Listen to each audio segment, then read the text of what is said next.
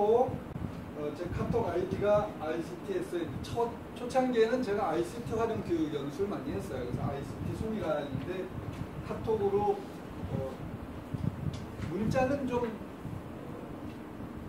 카톡으로 이게 친구 추가하시고 저한테 어, 질문 주시면 별의별 정보를 제가 다 드릴 수 있어요. 생활 지도에 관한 거, 학부모 상담에 관한 거. 학부모님들 만만치 않죠? 네. 예, 학부모님들이 그 지금 선생 교사가 교사를 소진시키는 3대 이유- 원인이 있습니다. 첫 번째는 아이들의 낯선 행동. 두 번째는 업무. 뭐 지치질 않고 쏟아져 오는 업무. 이 업무 이 업무는 교육감이 어떻게 못해? 법률로 국회의원들이 강제를 해버려요.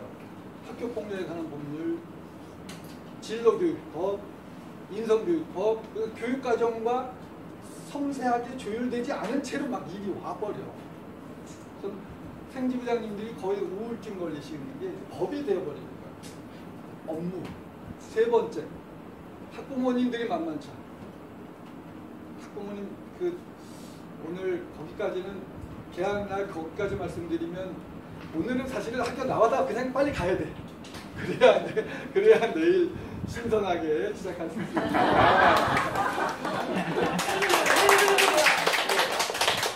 네. 전화번호는 입력을 해두시고 문자를 보내셔도 좋고 카톡을 하셔도 좋습니다. 그러면 제가 어떤 정보까지 드리냐면 아이 이 아이는 상담이 필요해. 혹은 이 학부모가 상담이 필요한데 어떻게 상담까지 이르게 할 것인가? 잘못하면 학부모한테 멱살 잡혀요. 당신 우리 애를 또라이로 하러 이래버려. 그럴 때 설득하는 방법, 또 용한 의사를 고르는 방법 그런 걸 제가 어, 노하우가 이게 이 돌봄치 교실의 게시글이 만 개가 넘거든요.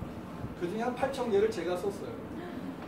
온갖 정보가 제 휴대폰 속에 다 있으니까 어려워 마시고 오늘보다 오늘은 그냥 살짝 미팅한 기분으로 하고 앞으로 계속 이용을 해주시면 좋겠습니다.